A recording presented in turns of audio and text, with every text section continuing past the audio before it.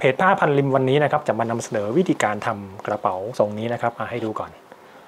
เป็นกระเป๋าทรงใส่เอกสารเลยนะครับ คือตั้งใจทำมาให้ใส่เอกสารได้นะครับใบนี้แล้วก็มีลูกเล่นก็คือจะมีสาย 2 เส้นแบบนี้นะครับสแบบนะครับ คือเส้นหนึ่งเป็นเส้นสั้นแบบนี้นะครับ แล้วก็อีกคู่หนึ่งเนี่ยจะเป็นเส้นยาวนะครับสะพายไหลได้นะครับ ก็มีต่อชิ้นรอบนี้จะต่อชิ้นโค้งๆนิดนึงนะครับ ช่วงนี้ครับเนี่ยนะครับเล่นโค้งๆนิดนึงนะครับ ข้างในก็จะเป็นซับในแบบนี้ครับ ชิ้นนี้จะมีซับในเหมือนเดิมนะครับ ส่วนใหญ่ที่เราทำมาเนี่ยเกือบ 99%เลยจะมีซับในทั้งหมดเลยนะครับกระเป๋าที่เราทำออกมานะครับ เดี๋ยวรอบนี้เราจะมาดูวิธีการทำ pattern แล้วก็การตัดเย็บกระเป๋าลักษณะแบบนี้กันนะครับ ไปเชิญชมขั้นตอนการวาง pattern แล้วก็การตัดเย็บได้เลยนะครับเรามาดูในส่วนของ pattern ตัวกระเป๋าเมื่อตอนต้นคลิปที่ผมให้ดูไปนะครับอะอันนี้ผมไปตัดมาเรียบร้อยแล้วนะครับ แล้วก็ไปเขียนโครงร่างที่เป็นดินสอมาส่วนหนึ่งแล้วนะครับ พื่อให้เป็นความรวดเร็วในการนำเสนอคลิปนะครับจะได้ไม่ต้องมาเสียเวลาตรงนี้นะครับตอนนี้กระเป๋าใบนี้เนี่ยผมให้ความกว้างเนี่ยอยู่ที่ 45 เซนนะครับอะเดี๋ยวมาเขียนตรงนี้ก่อนนะครับนะครับ 45 เซนนะครับทั้งแนวนี้นะครับ 45 เซนนะครับแล้วก็ส่วนของความสูงเนี่ยผมจะให้นะครับตรงนี้ทั้งหมดเลยนะครับอยู่ที่ 43 เซนนะครับความสูงนะครับ 43 เซนนะครับตรงนี้อ่าแล้วก็ตรงก้นอ่าเราตรงก้นก่อนเลย ตรงก้นเนี่ยเดี๋ยวสุดท้ายเนี่ยเราจะมีการนะครับ ตัดก้นแล้วก็เย็บจีบก้นนะครับตรงนี้นะครับ เย็บมุมก้นตรงนี้ก็นะครับ ขีดเส้นให้ดูก่อนอย่างนี้สองข้างนะครับ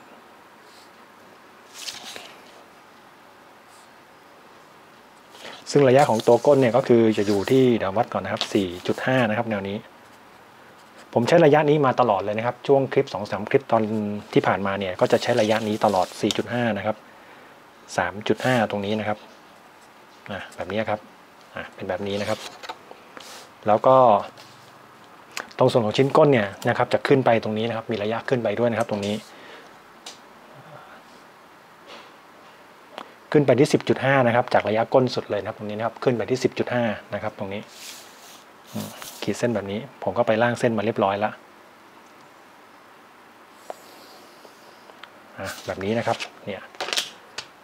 ระยะนี้นะครับ คือ 10.5 นะครับ ตรงนี้เสร็จแล้วทีนี้กระเป๋าใบนี้เนี่ยปกติแล้วเวลาผมทำเนี่ยก็จะเป็นเส้นตรงตลอดใช่ไหมครับแต่ใบนี้จะลองมาทำเป็นเส้นโค้งดูบ้างนะครับ ก็ผมก็วัดจากมุมนะครับ ด้านขวามือผมเนี่ยออกมาตรงนี้นะครับ อยู่ที่ 22.5 ครึ่งหนึ่งว่างั้นเถิดนะครับ ครึ่งหนึ่งของความกว้าง ความกว้างของเราเนี่ยจะอยู่ที่ 45 ใช่ไหมครับ ครึ่งหนึ่งก็คือ 22.5 ก็ติ๊กไว้ตรงนี้นะครับ แล้วก็ข้างบนเนี่ยผมก็วัดขึ้นไปนะครับ จากตัวฐานตรงนี้ฐานก้นตรงนี้ครับวัดขึ้นไปนะครับ อยู่ที่ 20 เซนนะครับ วัดขึ้นไป 20 เซนก็จะอยู่ที่ตรงนี้นะครับ ประมาณตรงนี้ 20 เซนนะครับ ก็คือระยะตรงนี้ 20 เซนนะครับ เสร็จแล้วตรงนี้เริ่มทำการโค้ง จริง ๆ โค้งตรงนี้เนี่ยเพื่อนๆ สามารถที่จะเขาเรียกว่ายังไงเนี่ยเขาเรียกว่ายังไงดี คือโค้งอิสระได้เลยนะครับ คือจะเอามือเนี่ยค่อยๆ โค้งเลยก็ได้นะครับ แต่ถ้าบางคนบอกว่าไม่ถนัดทีเนี่ย คือเราจะใช้วิธีการอย่างนี้ก็ได้นะครับ ตีเส้นตรงนี้ออกมา เดี๋ยวผมใช้อีกสีหนึ่งมาช่วยดีกว่านะครับเพื่อนๆอาจจะใช้สีนี้มาช่วยนะครับอย่างนี้ เดี๋ยวจะงงหรือเปล่าไม่แน่ใจนะเดี๋ยวลองดูนะครับแบบนี้ครับ ซึ่งเส้นเนี่ยเราไม่ได้ใช้จริงนะครับ เส้นสีส้มๆเนี่ยไม่ได้ใช้จริงนะครับ เราขีดขึ้นมาก่อนแล้วก็แบ่งครึ่งนะครับเนี่ยช่วงเส้นสีส้มเนี่ยเราแบ่งครึ่งนะครับ ก็คือประมาณตรงนี้นะครับ แล้วก็เอาสูงขึ้นมาที่2เซนนะครับ เส้นเนี้ยแบบนี้นะครับ2เซนนะครับ ช่วงความสูงตรงนี้ขึ้นมา2เซนนะครับ แล้วก็ทำการนะครับ ตีเส้นโค้ง คือไอ้เส้นนี้เราตีขึ้นมาเพื่อเป็นหลักให้เรายึดเท่านั้นเองนะครับ จริง ๆ เพื่อนๆตอนเพื่อนๆทำเนี่ย ไม่ต้องทำก็ได้นะครับ ขั้นตอนตรงนี้นะครับ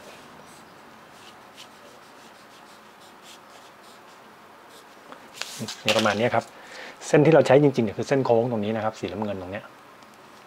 คือชิ้นล่างจะเป็นชิ้นโค้งนะครับตรงนี้อะชิ้นบนก็เหมือนกันนะครับ ตรงนี้มาดูชิ้นบนบ้าง ชิ้นบนเนี่ยผมก็เริ่มแบบนี้เลยนะครับ ก็คือ วัดจากตรงนี้นะครับ ขึ้นไปนะครับ ตรงนี้ก่อนหาหลักมันก่อนนะครับ ผมเอาขึ้นมาอยู่ที่ 10เซนนะครับ ตรงนี้ นี่ระยะตรงนี้ครับ10เซนนะครับ ขึ้นมา 10เซนนะครับมามาร์กไว้ตำแหน่งนี้ แล้วก็ข้างบนเนี่ยก็คือเราวัดออกมาจากมุมด้านซ้ายตรงนี้นะครับ ออกมาตรงนี้เลยนะครับ ผมเอาออกมาที่ 30เซนนะครับตรงนี้ระยะนี้นะครับ ซึ่งระยะตรงนี้เนี่ยคือด้วยความที่ว่าเราเป็นคนทำเองเนี่ยเพื่อนๆไปทำอาจจะไม่ต้องใช้ระยะตามนี้ก็ได้นะครับ เอาระยะที่เพื่อนๆพอใจเลยนะครับ แล้วก็เหมือนเดิมนะครับตอนนี้ เราก็ตีเส้นตรงนี้นะครับ ถ้าเราไม่อยากจะโค้งมือแบบ แบบสุ่มเอานะครับ เราอาจจะตีเส้นอย่างนี้ก่อนก็ได้ เพื่อเป็นแนวนะครับ อันนี้ผมเอาเส้นป่าดีกว่านะครับเอาเป็นเส้นปะไว้ให้รู้นะครับว่ามันเป็นเส้นตรงที่เชื่อมถึงกันแบบนี้นะครับ แล้วเราก็ทำการนะครับหาครึ่งนะครับของเส้นนี้หากึ่งกลางนะครับ หากึ่งกลางผมหาไมาได้ก็ประมาณนี้ แต่ตรงนี้เนี่ยผมเอาขึ้นมาอยู่ที่3เซนเลยนะครับ รอบนี้นะครับ ตรงนี้ระยะตรงนี้ครับใช้ระยะขึ้นมา3เซนเลยนะครับ ตรงนี้เอากว้างเอาสูงขึ้นมาหน่อยหนึ่งอันนี้2เซนใช่ไหมเมื่อกี้อันนี้3เซนนะครับ พอได้อย่างนี้เสร็จแล้วเราเริ่มโค้งเลยครับตรงนี้ ก็คือคล้ายๆว่าเรามีมีหลักในการยึดแล้วนะครับในการโค้งเราก็โค้งแบบนี้เลยนะครับอะแบบนี้ครับนี่เราก็จะได้ออกมาเป็นมานี้ ซึ่งพอเป็นลักษณะอย่างนี้เพื่อนๆจะงงไหมน่าจะไม่งงนะครับ ตรงนี้เดี๋ยวผมเขียนเป็นหมายเลขไว้ก็ได้นะครับ อันนี้คือชิ้นที่1นนะครับชิ้นก้นนะครับ แล้วก็ชิ้นที่ 2 ก็คือชิ้นตรงกลาง ชิ้นตรงกลางคือชิ้นใหญ่นี้เลยนะครับ ชิ้นใหญ่เลยนะครับตรงนี้นี่ชิ้นตรงกลางนะครับ แล้วก็ชิ้นที่ 3 ชิ้นด้านบนแล้วกันนะครับ แล้วก็ชิ้นที่ 4 คือชิ้นนี้ นะครับ มีทั้งหมด 4 ชิ้นอะหนึ่งทับสี่สองทับสี่สามทับสี่นะครับ แล้วก็4ทับสี่นะครับ ก็เป็นลักษณะแบบนี้นะครับ เดี๋ยวเราไปทำการ อันนี้ผมเหมือนเดิมนะครับ ผมจะไม่ตัดจากตัวแม่แบบนะครับ เดี๋ยวจะไปทำการก๊อปออกมานะครับ ก๊อปแยกชิ้นแต่ละตัวออกมานะครับ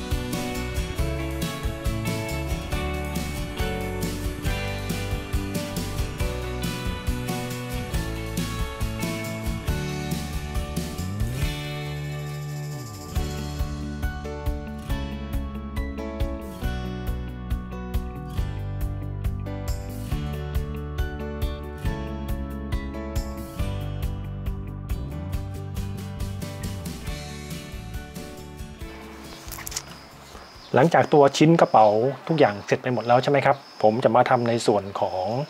เขาเรียกอะไรเขาเรียกว่าอะไรเป็นชิ้นเสริมนะครับดูว่ามีอะไรบ้างนะครับอะไล่มาจากตรงนี้ก่อนเลยนะครับ ตัวนี้คือกระเป๋าใบนี้เนี่ยผมจะทำเป็น 2 สายเหมือนเดิมนะครับ คือมีสายถืออันหนึ่งนะครับ ก็คือเส้นนี้นะครับสายถือนะครับก็คือความกว้างเนี่ยอยู่ที่8เซนนะครับแล้วก็ความยาวเนี่ยอยู่ที่ 40 เซน40 เซนแต่ว่าผมทำแค่ครึ่งเดียวนะครับ คือ 20 20 เซนแล้วก็เป็นสันทบนะครับ เวลาไปวางผ้าก็วางสันทดนะครับ สันทดนะครับตรงนี้นี่คือในส่วนของสายถือ แล้วก็มีสายสะพายไหลด้วยนะครับ สายสะพายไหลก็กว้าง 8 เซนเหมือนกันนะครับ แต่ว่าความยาวเนี่ยจะอยู่ที่ 60 เซนผมก็เหมือนเดิมนะครับ ผมก็ทำแค่ครึ่งเดียวคือ 30 เซนนะครับ คูณ 2 ก็ 60 สันทบนะครับ ตรงนี้ก็มีสาย 2 แบบสายถือกับสายสะพายไหลนะครับ แล้วก็จะมีชิ้นสาบนะครับสาบด้านบนด้านในนะครับ ที่ติดกับชิ้นซับในนะครับ ตัวนี้ ก็ความกว้างอยู่ที่4เซนนะครับแล้วก็เผื่อเย็บ อันนี้ก็เผื่อเย็บเรียบร้อยนะครับเส้นเล็กๆข้างล่างนี่คือเผื่อเย็บนะครับความยาวเนี่ยความกว้างเนี่ยก็คือจะอยู่ที่ 45 เท่ากับตัวกระเป๋านะครับ ตรงนี้4 4 4กว้าง4นะครับยาว 45นะครับตรงนี้ อันนี้คือในส่วนของชิ้นประกอบเพิ่มเติมนะครับ ตอนนี้มาดูส่วนของซับในด้วยนะครับซับในคือตัวนี้นะครับซับในเนี่ยก็คือหน้ากว้างเนี่ยก็คือเท่ากับตัวกระเป๋าเลยนะครับ ก็คืออยู่ที่ 45 เซนนะครับตัวนี้ แล้วก็เป็นสันทบนะครับตรงนี้ ตัวก้นเป็นสันทบอ๋อเดี๋ยวตรงซับในจะต้องมีตัวบากตรงนี้ด้วยนะครับ ไม่ได้ทำทีนะครับตรงนี้ แล้วก็ความสูงเนี่ยจะอยู่ที่ 39เซนนะครับ ตัวซับในครับตัวนี้ หายไป4เซน4เซนที่หายไปก็คือตัวนี้ครับ ตัวสาบที่หายไปนะครับ ต่อข้างบนเวลาต่อนะครับ ต่อแบบนี้นะครับตัวนี้ชิ้นชิ้นชิ้นสาบนะครับ ต่อซับในต่อด้านบนแบบนี้นะครับเป็นแบบนี้แล้วก็ ในส่วนของซับในใบนี้เนี่ยผมจะทำให้มันมีช่องกระเป๋าด้วยนะครับเนี่ยคือช่องกระเป๋านะครับตรงนี้อยู่ภายในซับในนะครับตัวนี้นะครับ ช่องกระเป๋านะครับ ซึ่งช่องกระเป๋าตัวนี้เนี่ยผมให้กว้างที่ 40 นะครับ สูงที่ 15เซนนะครับ ตรงนี้ช่องกระเป๋า ซึ่งก็ไปทำการนะครับ วาดแบบหรือว่าก๊อปแบบออกมาแล้วนะครับอันในส่วนของ 20เซนคือตรงนี้นะครับ ความกว้างนะครับ เท่าเส้นสีน้ำเงินนะครับ แต่ว่าข้างๆนี่คือเผื่อเอาไปเป็น ช่วงที่เราต้องเผื่อเย็บนะครับ เราต้องเผื่อเผื่อพับนะครับ เรียกว่าผับเผื่อพับนะครับตรงนี้ แล้วก็สูง 15 เซนคือตัวนี้นะครับ ซึ่งข้างบนเนี่ยจะเหลือเยอะกว่านะครับ ตรงนี้ปากกระเป๋าข้างบน เพราะว่าต้องทบ 2 ครั้ง ผมใช้วิธีการทบ 2 ครั้งนะครับ เนี่ยพับปากกระเป๋านะครับ ช่องกระเป๋า ส่วนโดยข้างเนี่ยข้างๆข้างซ้ายข้างขวาแล้วก็ข้างล่างเนี่ยจะเหลือไว้1เซนนะครับสำหรับเวลาเราพับเย็บธรรมดาเลยนะครับพับหนึ่งครั้งพอนะครับอันนี้ก็คือเป็นในส่วนของตัวช่องกระเป๋านะครับ ตอนนี้ตัวก้น ซับในเนี่ยยังไม่ได้ยังไม่ได้ขีดในตัวนี้นะครับ ต้องต้องเขียนด้วยนะครับตรงนี้อ่ามานี้4.5 กับ 3.5 นะครับ ถ้าเพื่อนๆจำได้ใช่ไหมครับตรงนี้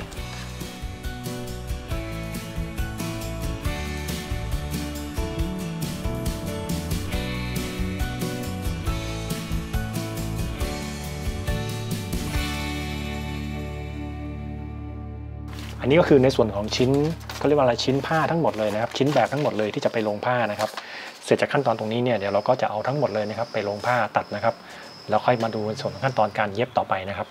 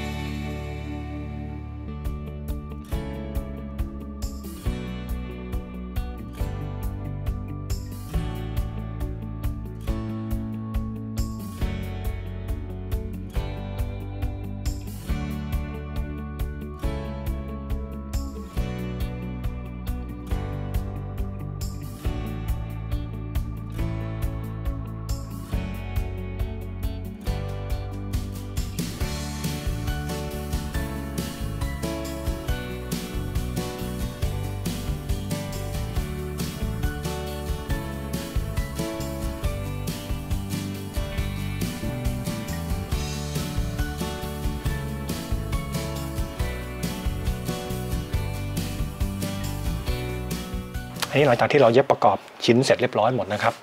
ขั้นตอนถัดไปอันนี้คือด้านหน้านะครับ แล้วก็ด้านหลังเป็นแบบนี้นะครับ หน้าหลังนะครับ ขั้นตอนถัดไปที่เราจะทำก็คือนะครับ หากึ่งกลางเพื่อจะทำการติดชิ้นสายนะครับ เราก็จะทำการหากึ่งกลางก่อนแบบนี้นะครับนะครับ หากึ่งกลางแบบนี้นะครับ แล้วสายเนี่ยผมจะเอาไปที่8เซนนะครับ ข้างละ8เซนนะครับ ทั้งหมดมัน 16 เซนนะครับ สายเนี่ยตำแหน่งที่จะวางสายนะครับ ให้ดูก่อนนะครับแบบนี้ 8 เซนนะครับ ออกไปที่ 16 เซนนะครับตรงนี้สองข้างแบบนี้นะครับ 16 เซน แล้วก็นำสายนะครับ ทีนี้สายเส้นสั้นกับเส้นยาวเนี่ยจะวางพร้อมกันเลยนะครับ โดยนะครับวางสายเส้นยาวก่อนนะครับ แบบนี้ คว่ำลงนะครับที่ 8 เซนตรงนี้นะครับ ล็อกไว้ก่อนอืม แล้วก็อ้อมมาฝั่งนี้นะครับที่8เซนนะครับตรงนี้โอเคนี่ครับระยะตรงนี้นะครับคือ 16 เซนนะครับตรงนี้ แล้วก็เอาสายเส้นสั้นนะครับ นี่เป็นเส้นสั้นนะครับ วางคู่กันแบบนี้เลยนะครับนี่เราจะเย็บพร้อมกันเลยนะครับ ตรงนี้นะครับ ตอนเย็บแบบนี้นะครับ เป็นลักษณะแบบนี้นะครับ แบบนี้นะครับ แล้วก็เย็บล็อกนะครับ ตรงนี้ แล้วก็เย็บล็อกตรงนี้นะครับ แบบนี้นะครับ เป็นลักษณะแบบนี้วางตรงนี้ก่อนนะครับ ฝั่งนี้ข้างหลังก็ทำเหมือนกันนะครับ ตรงนี้ชิ้นหลังนะครับ ก็ทำเหมือนกันนะครับ ตรงนี้ทำเหมือนกันนะครับ หากึ่งกลางนะครับ แล้วก็ 18เซนนะครับ16เซนไม่ใช่10ไม่ใช่18 16เซนนะครับ ออกข้างละ8เซนนะครับทำเหมือนกันเลยนะครับตรงนี้นะครับ เพื่อนๆก็ไปหาระยะกลางนะครับตรงนี้แล้วก็ทำอย่างนี้เหมือนกันเลยนะครับ พอตรงนี้เสร็จปุ๊บเนี่ยนะครับ ตัวก้นนะครับ เราจะมาที่ตัวก้นแล้วนะครับ ตัวก้น แบบนี้ตัวก้นจะติดตัวก้นนะครับ ตรงนี้ ตัวก้นก็คือติดแบบนี้นี่คว่ำแบบนี้นะครับนี่นะครับเย็บนะครับ แล้วก็เย็บยาวหนึ่งครั้งนะครับ ตรงนี้ แล้วก็พลิกกลับนะครับ พอพลิกกลับแล้วก็เย็บล้มตะเข็บอีกหนึ่งครั้งนะครับ ตรงนี้เดี๋ยวจะไปทำขั้นตอนนี้นะครับ ทีเดียวเลยนะครับ ตรงนี้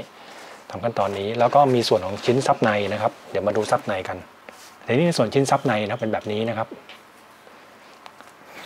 ซับในเนี่ยก็คือหากึ่งกลางนะครับแบบนี้ แล้วก็นำชิ้นนี้ครับ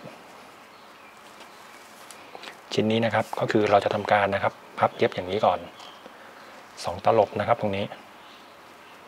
นะครับ พับเย็บก่อนนะครับ ตรงนี้พับเย็บนะครับ พับเย็บนะครับ เมื่อพับเย็บเสร็จแล้วก็มาทำการวางบนตัวนี้ครับครั้งนี้ก็พับเย็บลงด้วยนะครับตรงนี้นี่พับลงอย่างนี้นะครับหนึ่งเซนนะครับ ตรงนี้ โดยรอบหนึ่งเซนนะครับ ตัวก้นก็หนึ่งเซนแบบนี้นะครับนี่แบบนี้นะครับ ฝั่งนี้ก็หนึ่งเซนแบบนี้นะครับนะครับ ลักษณะแบบนี้เป็นแบบนี้ โดยนะครับให้ระยะห่างนะครับ จากตรงนี้ลงมาตรงนี้สิบเซนนะครับ ให้ลงมาที่สิบเซนนะครับ วัดลงมาที่สิบเซนนะครับ เลื่อนลงมาเลยนะครับ ให้ใช่สิบเซนนะครับ ตรงนี้ แล้วก็ทำการเย็บนะครับ เย็บอย่างนี้ อย่างนี้ แล้วมาอย่างนี้นะครับ แล้วตรงนี้จะเป็นช่องไว้ใส่ของนะครับ กึ่งกลางให้ตรงกันอันนี้คือซับใน เดี๋ยวจะไปทำขั้นตอนซับในด้วยนะครับ แล้วก็ทำชิ้นนี้ด้วยเลยทีเดียวนะครับทำพร้อมกันเลยนะครับ ตรงนี้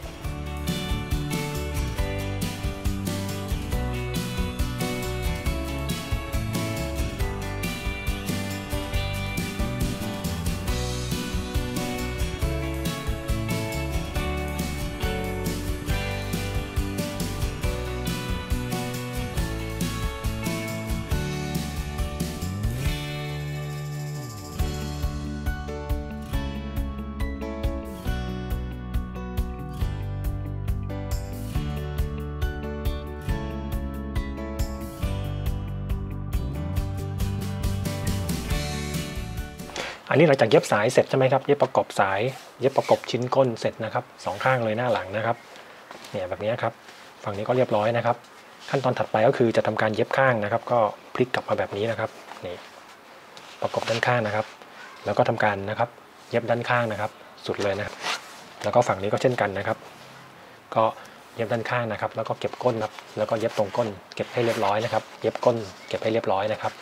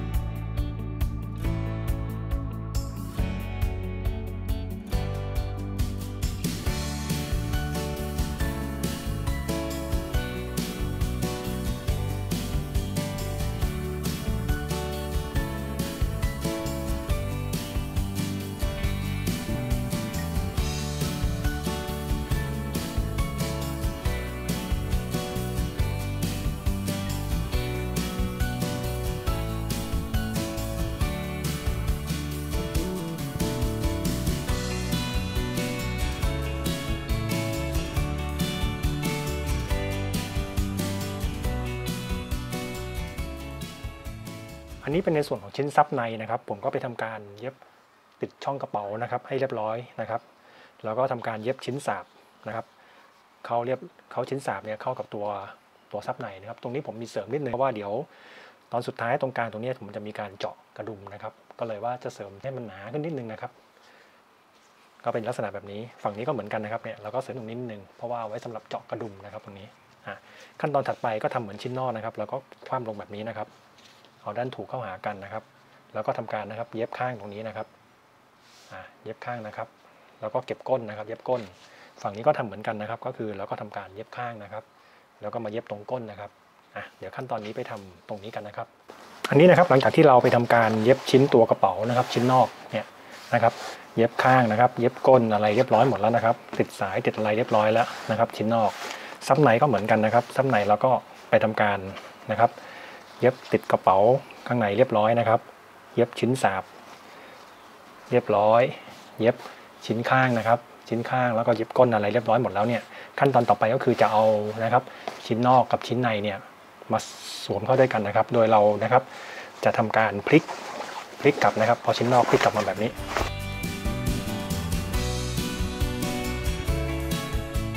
แล้วก็ทำการนะครับ ซ้อนเข้าไปนะครับ เอาชิ้นนอกเนี่ยซ้อนเข้าไปในด้าน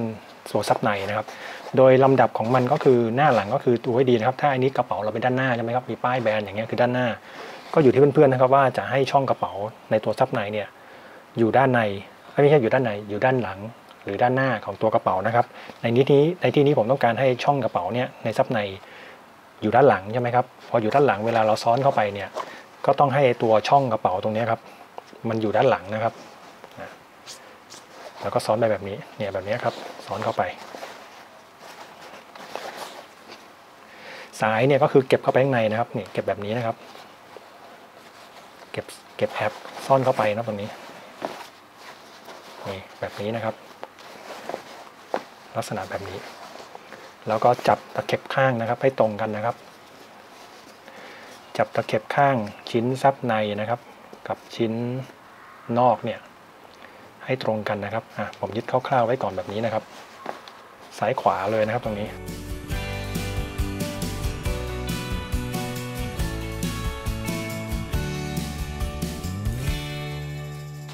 นะครับคร่าวๆประมาณนี้นะครับ แล้วก็จากนี้ไปก็คือไปทำการเย็บรอบเลยนะครับ เย็บรอบแล้วก็เหลือช่องเอาไว้สักนิดนึงนะครับ ผมเหลือด้านข้างไว้ก็ได้นะครับ เหลือช่องเอาไว้สำหรับดึงผ้ากลับนะครับ ก็เดี๋ยวขั้นตอนนี้เราไปเย็บเขาเรียกอะไร เย็บรอบปากกระเป๋ากันนะครับ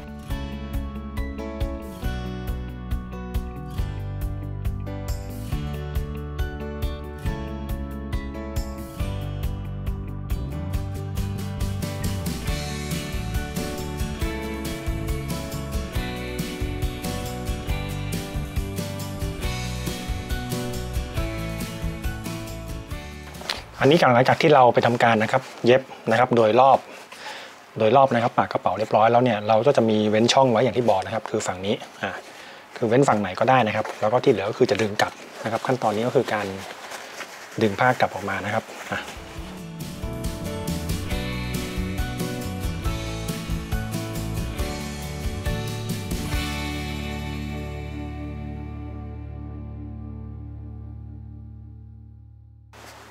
พอมาถึงขั้นตอนนี้นะครับ เราก็จะทำการนะครับ ค่อยๆนะครับ จัดไอ้ตรงขอบตรงนี้ครับ จัดระเบียบขอบตรงนี้ให้ดีๆนะครับ ให้อยู่ข้างในอย่างนี้นะครับ แล้วก็ตรงนี้คือช่องนะครับที่เราเปิดเอาไว้สำหรับพลิกกลับเมื่อตะกี้ใช่ไหมครับ เราก็จะต้องมีการพับเก็บนะครับ แล้วเดี๋ยวจะเย็บทีเดียวเลยนะครับตรงนี้ ซึ่งขั้นตอนตรงนี้เนี่ยถ้าเพื่อนๆหลายคนที่ตามคลิปผมมาตลอดเนี่ยก็จะ ก็จะเห็นตรงนี้แล้วก็จะนึกออกนะครับว่ามันก็เป็นขั้นตอนสุดท้ายขั้นตอนจบนะครับตรงนี้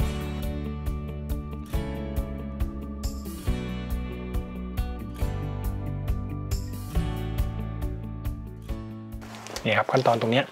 แล้วเดี๋ยวพอสุดท้ายเนี่ยก็คือเราก็จะไปทำการนะครับ เย็บนะครับนะนะครับ เย็บโดยรอบเลยนะครับ โดยรอบปากกระเป๋านะครับ เย็บเย็บเย็บบนรอบเลยนะครับ ก็จะเป็นอันเสร็จสิ้นชิ้นงานนะครับ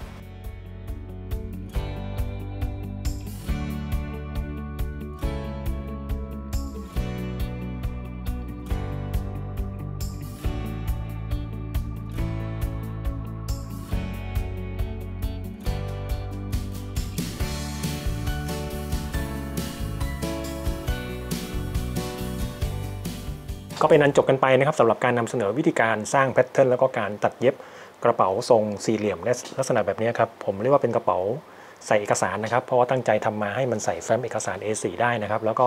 ทำเป็นลูกเล่นก็คือจะมีสาย 2 แบบนะครับ คือแบบสั้นที่เห็นอยู่นี่นะครับ แบบถือเอาไว้สำหรับถือได้นะครับ แล้วก็เส้นยาวเนี่ย